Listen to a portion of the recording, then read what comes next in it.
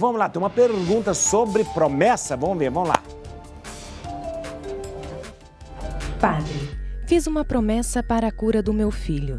Consegui cumprir metade dela e a outra, mesmo depois de dois anos, ainda não consegui realizar. Isso é um problema? Essa pergunta sobre promessa eu gosto muito que as pessoas façam para a gente tirar e desmistificar muita coisa. A primeira coisa que a gente tem que pensar: Deus não é agiota. Deus não é agiota. Ah, eu estou devendo alguma coisa para Deus e Deus vai me castigar. Não, Deus não castiga. Ah, Deus, eu, se eu não cumprir essa promessa, tudo vai acontecer errado. Não. Deus não é agiota que manda bater em você, que manda cobrar você. Não. Gente, vamos entender direitinho o que, que é uma promessa. Às vezes a gente usa esse termo promessa e fica esquisito, fica parecendo que eu estou sempre devendo alguma coisa para Deus. Ah, na verdade, a promessa, o nome certo da promessa é voto, voto. Né? Tanto é que nós usamos é, na igreja o chamado ex-voto, quando eu vou lá e deixo lá em Aparecida, na igreja, alguma coisa para lembrar que eu fiz um voto com Deus. O voto é uma ligação que eu tenho com Deus. O voto o que, que é? A promessa o que, que é? Ela não é um pagamento da graça de Deus. Primeiro, porque nós não temos como pagar a graça de Deus. Por exemplo, nós não temos dinheiro no mundo, nós não temos nada no mundo, nós não podemos fazer nada que possa pagar o que Deus faz por nós. Não podemos. Então, o que é a promessa? A promessa é um gesto de reconhecimento por aquilo que Deus fez na minha vida. Não é para eu pagar a Deus. É um gesto de reconhecimento que eu faço para Deus. Então, por exemplo, eu peço, eu pedi para cumprir, para curar o meu filho.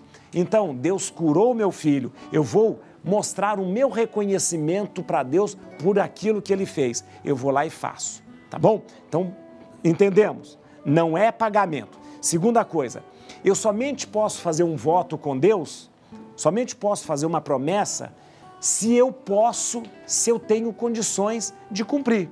Por exemplo, eu não posso dizer para Deus que vou fazer o impossível. Aí é uma questão de moral. No momento em que não há mais, que não é mais possível você fazer, cessa-se a obrigação. Isso é um princípio da moral e do direito também. Nemo tenetero impossibile. Ninguém está obrigado ao impossível. Por exemplo, eu prometi uma coisa, só que essa promessa que eu fiz ela é impossível, então ela não existe. Por exemplo, eu prometi que vou, se eu conseguir isso, eu vou na Lua. Não, você não vai à Lua porque é impossível. Então, se isso é, se, é, se, se, é, se é impossível, essa promessa não existe. Então, eu só vou fazer um voto com Deus dentro da minha possibilidade. Terceira coisa, eu não vou fazer um voto com Deus para me machucar, para deixar cabelo crescer, para eu parar de comer chocolate. Pelo amor de Deus, gente, vai mudar alguma coisa? Se você, se seu cabelo ficar esse ninho de guacho aí, o que, que é isso? Ah, eu não vou cortar meu cabelo. Não. O que, que, é isso? Para que isso? Ah, eu vou fazer uma promessa que eu vou é, é, é, de joelho subir. Vai machucar seu joelho? Isso vai resultar em alguma coisa? Não. Então, todos os nossos votos e as nossas promessas sempre é para o bem de alguém, para o bem de uma pessoa. Por exemplo, eu vou, eu vou dizer para Deus: ó, se eu conseguir isso que eu estou te pedindo, como reconhecimento daquilo que você me fez, eu vou ajudar um pobre. Eu vou visitar um doente. Eu vou visitar alguém na cadeia. Se não for na cadeia, eu vou visitar a família daquele presidiário. Ó, oh, então eu vou ajudar uma pessoa que está passando, que precisa pagar uma conta de luz, porque senão vai ficar sem luz. Ou eu vou ajudar uma pessoa que eu vi passando fome ali na, do meu lado.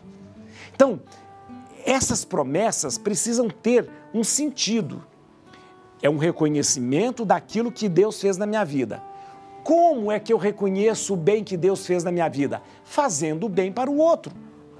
Então, vamos parar com essas promessas de não comer chocolate, de não comer, é, de não comer doce, essas promessas que a gente faz de não cortar cabelo, essas promessas que faz de ficar de, é, é machucando o joelho. Essas... Não. Faço a promessa, mas prometo fazer o bem para alguém na, naquilo que você pede para Deus, Deus não está querendo fazer o bem para você? Ele não vai te dar uma graça maravilhosa? Então, por que, que eu não dou, eu faço bem para uma pessoa? Então, promessa não é pagamento, promessa não é dívida de, de, de agiota. Com Deus, eu reconheço o que Ele fez por mim e eu dou para Ele o meu reconhecimento. Qual é o meu reconhecimento? Fazendo bem para alguém. Gente, a melhor maneira de agradar a Deus é quando eu faço bem para o outro. Isso é muito, muito importante. Tá bom?